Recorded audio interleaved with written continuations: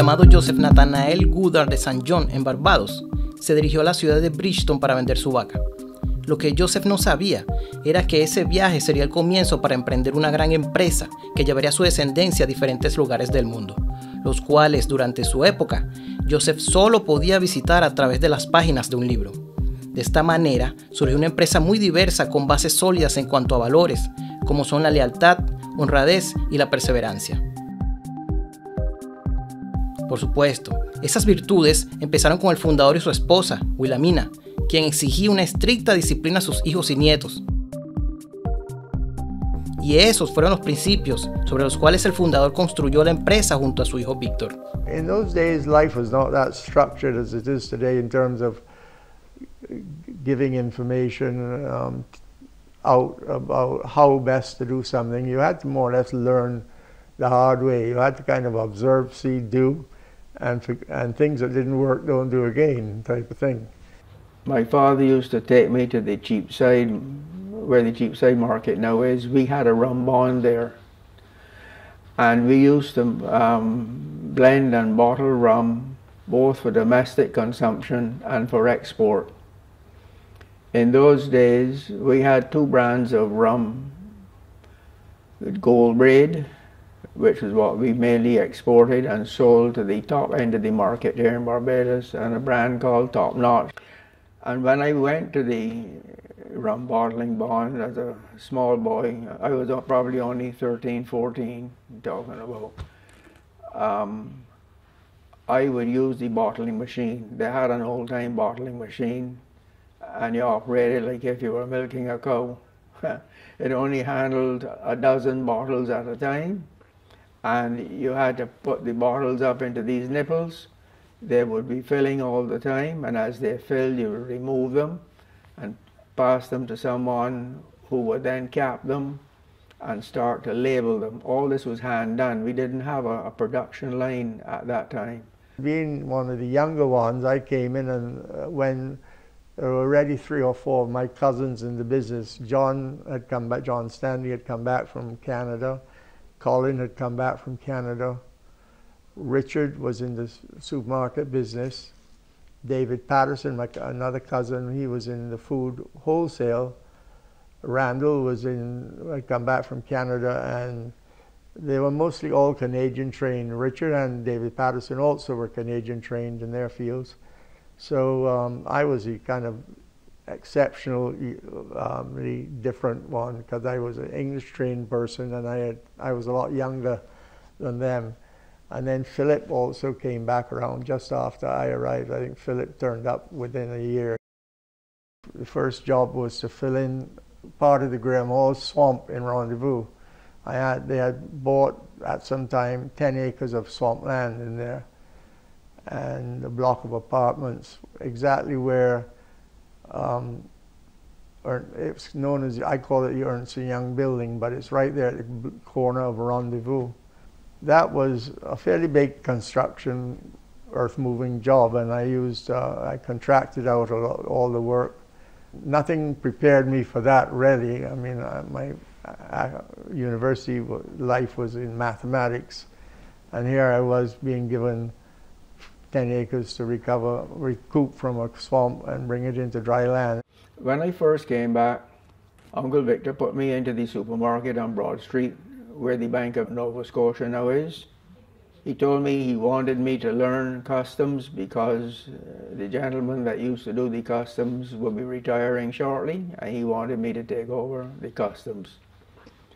But other than that, I was to learn the layout of the store, how everything, the modus operandi of the store. I used to keep the, the books in the little office at Goddard's on Broad Street. And the, all the meetings were held at Kensington. And when Uncle Vic wanted to hold a meeting, he would get hold of me one way or another, tell me, Colin, bring the minute book. Uh, meet me at Kensington. That's all I heard and I would go to Kensington. I would take the minutes, make some notes and so forth because I couldn't write shorthand. But I would take them home, and my wife, who was a qualified stenographer, she would type the minutes, and I would take them back down with me next morning and stick them in the minute book. And I would take them and show them to Uncle Vic and let him read them and initial each page if he was satisfied with it so that when the next meeting came around there wouldn't be any fuss and bother about something in the minutes, you know. Desde el modesto inicio en un pequeño abasto en la calle Prince William Henry en 1921 hasta la mudanza a un espacio más grande y prestigioso ubicado en la calle Broad, la empresa se ha transformado en un conglomerado internacional que opera en 26 países. Esta organización se ha basado en asociaciones y acuerdos duraderos que han soportado desastres naturales, crisis económicas, etc. Durante los últimos 100 años, la empresa ha sido testigo de un extraordinario crecimiento, debido en gran medida a sus asociaciones permanentes. Inicialmente se estableció una alianza con la corporación de Flight Kitchen y recientemente con Sky Chefs, quien opera con la empresa en 21 países, en Centro y Sudamérica. Adicionalmente, la empresa Antiseptic Limited Trading, hoy en día llamada Terrific Tiles, de Barbados, quien forma parte de la división de suministro de construcción y es otra empresa familiar perteneciente a la segunda generación, se ha visto fortalecida cada vez más desde que unió fuerzas con la compañía Goodar Enterprise Limited en 1977. La organización llamada Caribbean Level Craft es la principal impresora de etiquetas de buena calidad en el Caribe y se encarga de exportar etiquetas para algunos productos bien conocidos de la región. Esta entidad se remonta a unos 35 años atrás en conjunto con Goodar Enterprise Limited. Uno de los más recientes acuerdos ha sido entre Agustinians Limited y la empresa de Goodar con la formación de Caribbean Distribution Partners, una empresa conjunta de distribución que opera en Trinidad y Barbados. Esta empresa está dirigida por un exgerente de GLM y ha ido creciendo continuamente desde su fundación, siendo actualmente una de las compañías de distribución líder en el sur del Caribe. Our training had taken us and made us different to what the prior generation required of a job.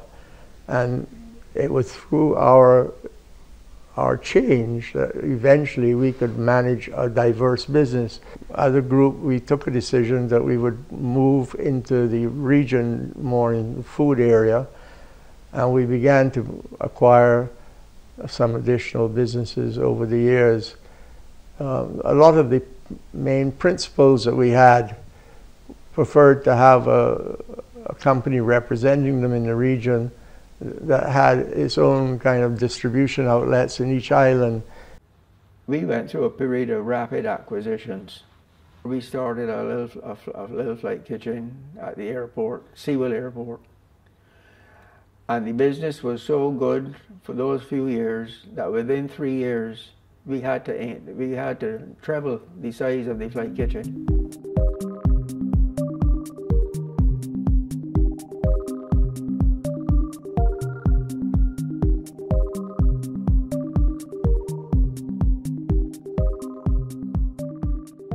Al ir creciendo la compañía, sus hijos y yernos seguían trabajando en el negocio. Sus hijos regresaron de estudiar en el extranjero a finales de los años 50 y 60 y la cara de la empresa empezó a cambiar a medida que se organizaban y entraban en función nuevas actividades. De esta manera se dio la necesidad de reestructurar y reorganizar la corporación, acogiendo así talentos de otros miembros de la familia, además de otros profesionales calificados y así poder expandir la firma a otras áreas. En 1972, una reorganización rigurosa se llevó a cabo en la Junta cuando los nietos ascendieron en la empresa, estos directores no solo operaban en la comisión de Goodar Enterprise, sino que muchos de ellos se desempeñaban en la junta de varias corporaciones estatutarias, compañías regionales y organizaciones como la Cámara de Comercio. Los Goodar eran muy prestigiosos en los círculos corporativos de Barbados y de la región. En 1993, John Stanley fue nombrado caballero por el gobierno de Barbados por su contribución al comercio y a la comunidad. Jugó un papel decisivo en el asentamiento comercial y fue el primer presidente del organismo del sector privado de Barbados. También fue uno de los arquitectos conjuntos en la formación de la Asociación Social Tripartita, que se ha convertido en un excelente ejemplo del sector público, privado y laboral en todo el mundo. Fue durante ese tiempo cuando la empresa decidió contratar y nombrar gerentes con los más altos niveles, personal profesional independiente que pudiese llevar la compañía hacia adelante, basándose efectivamente en los valores de entrega, dedicación y prestación de servicio por los cuales la organización se había hecho conocida. Business had got relatively diverse for us in this small environment here. And you, you needed people who were well trained and who were good, good at managing it and it was better to get the right person, likely not to be family, to run the business and make a success, keep making a further success of it, rather than, than have family in the job for the sake of having family in the job and not having a good job done.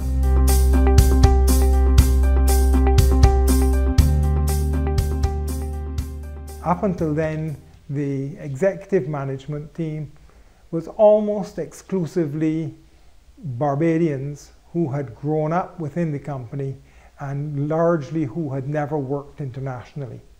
So we hired um, international agents to, to do the search and we decided that the, one of the criteria would be that we choose someone with international experience.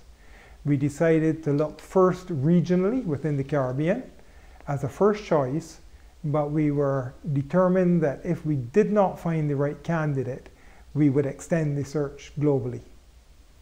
Um, we happened to find a Caribbean national um, with international experience in, in, in Tony Ali, and then so we were satisfied and did not look further.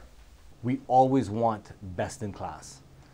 We don't think about gender, we don't think about race, we don't think about geography as we expand and we grow, we need executives who bring a truly international flair because that's where we're growing more and more. But we also bring need executives who understand the spirit and the culture of the organization and who fit, and that's probably the most important thing, who fit the strategy of where we're going. They bring the right management style, and so you know we every company has its own culture and style, and we have one as well. And I think it's extremely important that we continue to feed and develop that culture. The Goddard Enterprises Limited, as a new trending global corporate um, entity, always seeks to ensure that we recruit the best talent and ensure that we have the right fit as part of our cultural transformation. To ensure that we recruit right persons, we tend to also focus on key leadership competencies and behaviors. And so as we recruit and bring persons in, we typically would do an evaluation to ensure that they meet to those competencies that lend to being the best leader going forward. La organización también ha evolucionado una empresa familiar a una multicultural, de género mixto y de grupos racialmente diversos, incorporando así gerente de todos los países en los cuales opera la empresa. I'm the Chief Financial Officer responsible for the entire group. So not just in Barbados, but the entire group, all the divisions. Um, I would have started in the group at a very young age, at the age of 23 years old. Um, I was recruited to be the financial controller of one of the subsidiaries, HiPat Limited, where I spent five and a half years there before I was promoted to group financial officer for one year. Then I acted in the position of chief financial officer for another year, and then eventually I was um, given the position effective January 1st, 2008. Goddard's, by its very nature of its businesses and the locations, is a very diverse group. And that diversity then obviously allows you then obviously you recruit people in the various cultures. We have female managers at the top in some of these places. We have females in human resources, finance, um, even on the board. So Goddard's in itself, when you say Goddard's, you know, diversity is the name. La primera reunión de administradores, en 1973, trajo a todos los gerentes de las distintas compañías subsidiarias del Goodard Enterprise Limited en el Caribe a un mismo espacio para darle lugar a un plan de debate acerca del futuro. En 1978, teníamos nada menos que 78 participantes que llegaron de cuatro islas a la reunión anual. Interactuaron, compartieron ideas y prepararon planes de ejecución para la empresa. La Junta también fue útil para examinar las actividades del mercado en todos los segmentos de la compañía, establecer estrategias de personal, temas laborales y diversas normas políticas que fueron compartidas en el grupo. Ese mismo año hubo una importante reestructuración de las divisiones de la empresa. Para septiembre de 1978, la reunión de directores adoptó un nuevo nombre para la organización y con él un nuevo sello. Anteriormente era llamado JN Goodard Sons Ltd y su nuevo nombre llegaba a ser Goodard Enterprise Limited. En diciembre de 1979 se ofrecieron 320 mil acciones al personal por tan solo un dólar cada acción. La oferta fue sobresuscrita, por lo que la organización dejó de ser una empresa familiar para convertirse en una corporación que cotizaba en la bolsa con más de mil empleados como accionistas. Así que muchas personas pudieron generar riquezas a través de la propiedad de acciones de Goodard Enterprise Limited, ya que una acción de solo un dólar era el equivalente a 16 acciones y el valor actual de las acciones sería de 36.60 dólares. En mayo de 1980 fueron ofrecidas al público 2.5 millones de acciones a 2 dólares cada una, aumentando así la base del accionista e inyectando capital para el negocio dejando espacio para una mayor expansión. Por lo que en 1987, cuando se inauguró el intercambio de seguridad de Barbados, Goodard Enterprise Limited fue una de las primeras empresas locales de la propiedad pública que cotizó en la bolsa.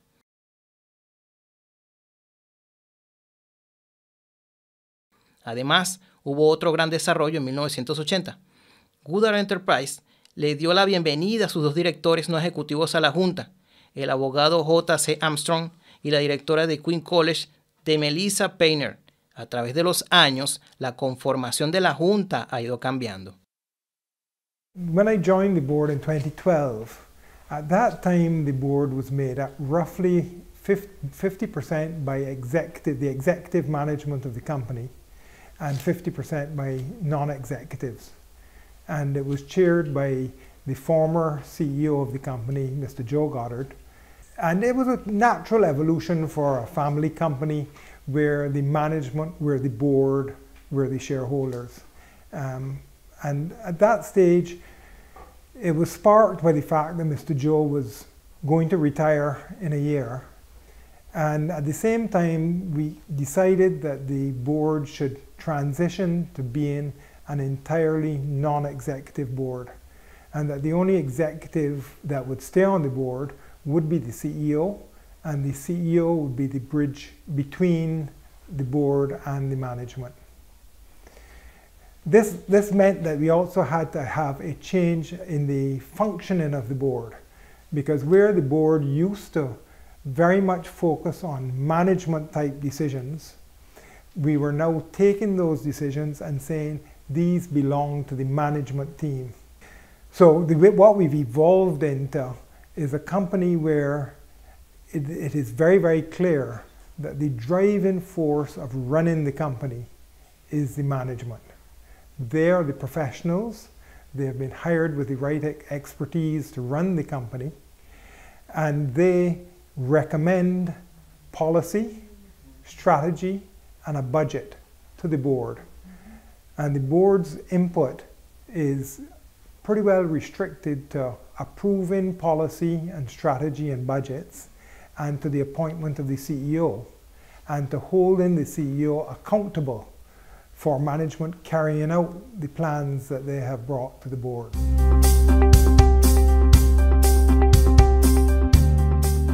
No todo estaba claro en la travesía por el largo camino. Hubo algunas áreas en las cuales la compañía se involucró y que no siempre fueron las adecuadas. Los directores reconocieron a tiempo que una mente comercial madura tiene que reconocer sus competencias básicas y salir de aquellas que no lo son. En los 100 años de historia de la organización, hubo elementos que solo operaron por un tiempo, por ejemplo, la industria hotelera. En el año 1940, la tendencia mundial estaba dirigida hacia el turismo.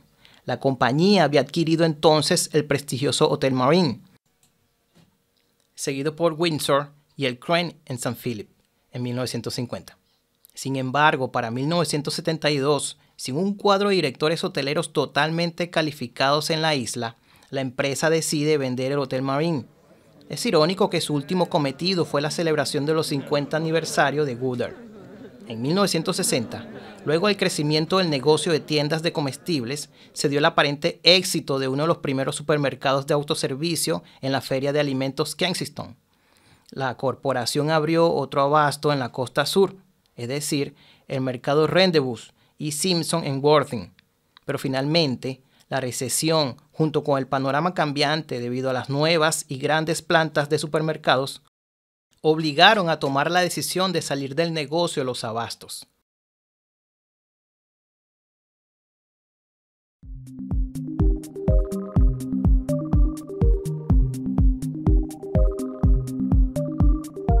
La adquisición del Hotel Crane condujo inesperadamente al comienzo de la cocina de vuelos en Barbados.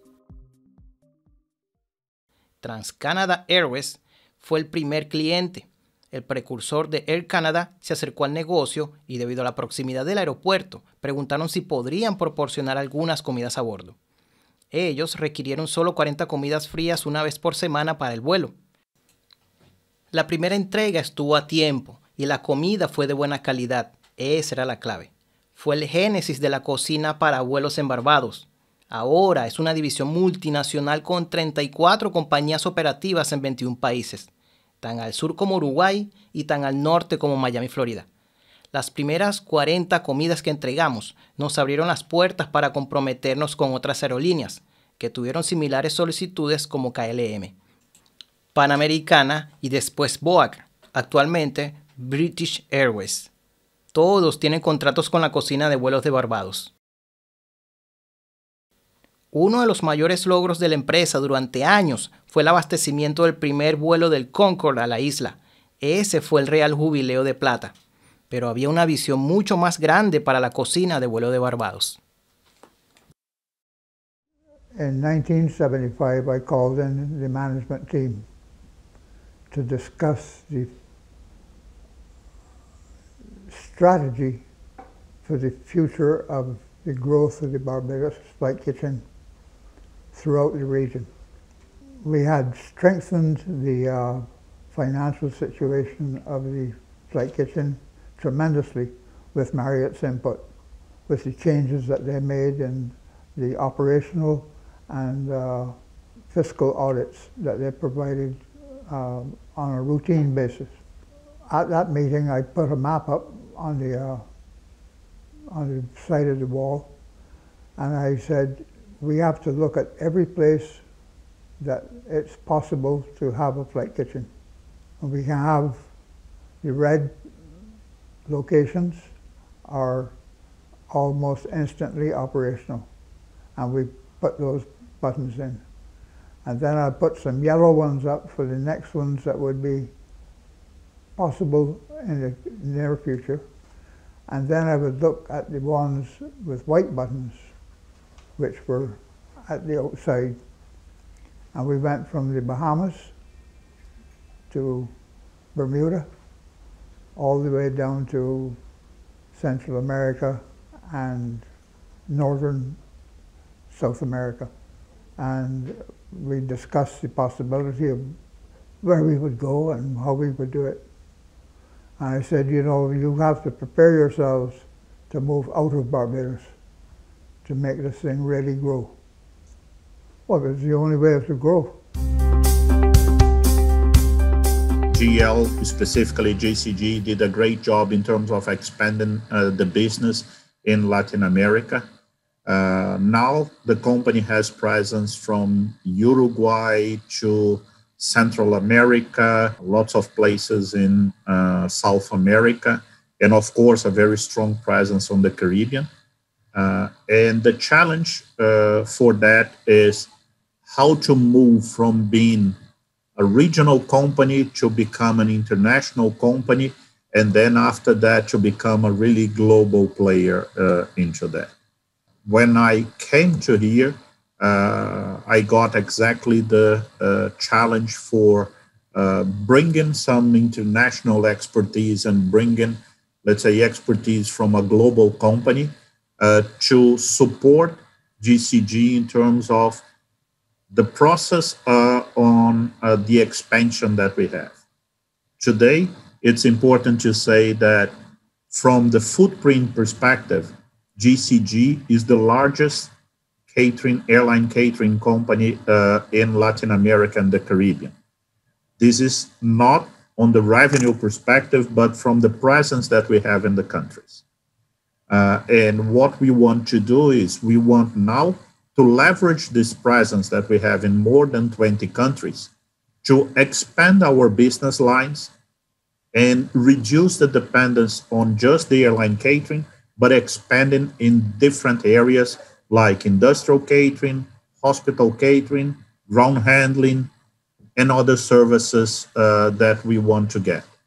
Because doing that, we will be able to become more and more international and looking into the future uh, with a less dependence of the airline industry. Hoy la empresa llamada Goodar Enterprise Limited celebra su 100 aniversario y es posible observar cómo ha resistido las diversas crisis durante todo este periodo. Las cualidades como la fuerza, la resiliencia, la previsión y la visión pionera de los fundadores han servido bien a la organización permitiendo seguir adelante desde los días iniciales hasta el día de hoy. Podemos destacar también que la empresa tuvo la primera sala refrigerada en Barbados, diseñada y construida para almacenar carne importada de Argentina. Adicionalmente, en el pasado, la empresa contaba solo con bicicletas y vehículos tirados por caballos para realizar sus entregas. Posteriormente, la empresa obtuvo sus primeras furgonetas motorizadas para llevar a cabo los suministros, lo que les permitió aumentar el servicio de entrega a toda la isla. Actualmente, la empresa sigue enfrentando desastres modernos. Por ejemplo, en 2020 la pandemia de COVID-19 cerró la mayoría de los países del mundo. Los viajes aéreos y los cruceros se detuvieron por esa razón. El mundo se detuvo. Adicionalmente, durante este tiempo, el pueblo del Caribe tuvo que enfrentar los desafíos de la erupción del volcán La Soufrière en San Vicente. A pesar de eso, una vez más,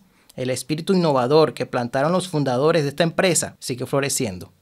It's forced us to reevaluate what we do, how we do it. It's forced us to reorganize and restructure internally within the businesses themselves. And so we're sitting on assets, we're sitting on capabilities that are unique in a lot of the Caribbean. And what we found is that we had to basically start to develop a way to diversify what we do. And so you, as an example, take a look at our flight kitchens. You know, what we do is we buy food, we transform food and we serve food. You look at most of our manufacturing businesses, they do the same thing. We manufacture and we sell. Now, with the pandemic, people can't get out. People are afraid to get out. Um, you know, people, there are all sorts of security issues around the pandemic um, with lockdowns in place. And then you have the actual, the vulnerable who are just fearful of going out and being exposed.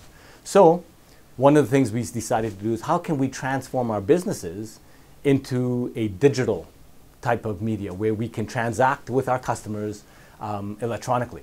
You look at Courtesy Garage, we now have an electronic showroom. You can actually virtually go in and tour our showroom, look at cars, and even get in and do a test drive virtually.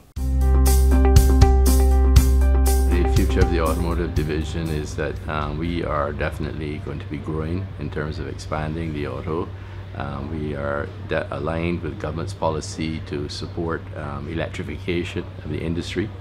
We sell um, Nissan and Hyundai, which are currently one of the two leading brands in electrification.